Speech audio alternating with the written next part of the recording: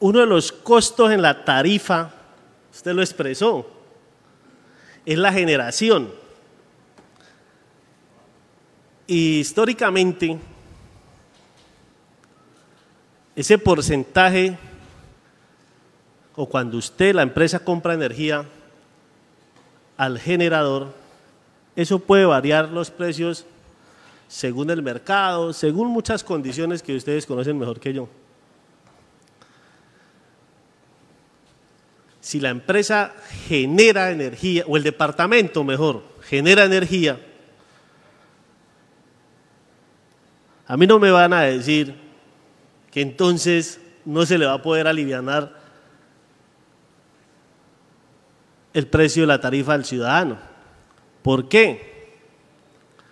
Porque si el departamento hace una alianza con Enelar frente a lo que generamos como araucanos con los proyectos que usted ya mencionó,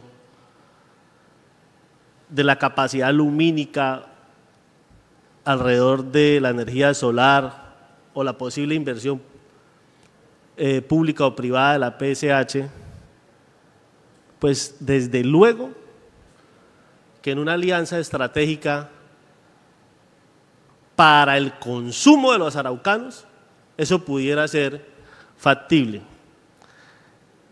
Y usted mismo se condena con lo que dice, porque empezó su intervención diciendo que está recurriendo a termocapachos, es decir, a quien está generando. ¿Para qué? Para que esa situación que se va a presentar sobre el mes de agosto aliviane un poco o no vaya a generar dificultades en la productividad y en el bienestar de la ciudadanía.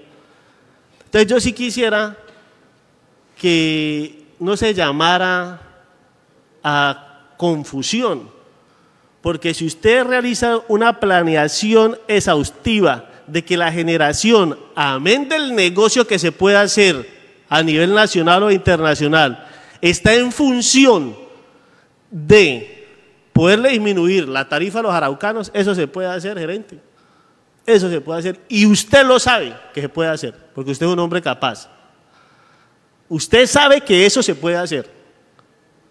Entonces, yo voy a dejar mi intervención de plano en este ejercicio hasta acá. Porque por respeto con las funciones propias nuestras, yo lo dije, me parece que esta no es la forma de abordar un tema tan importante para Arauca en medio de una invitación, cuando la esencia nuestra constitucionalmente corresponde a un control político. En esto, en esto fallamos. Tan es así que de manera respetuosa nos presentan un informe al inicio de la sesión, cuando ni siquiera podemos de fondo estudiar lo que aquí se dice. Eso me parece irrespetuoso para con la corporación y me parece que este no es el camino que la Asamblea debe tomar para realizar control político y no invitaciones.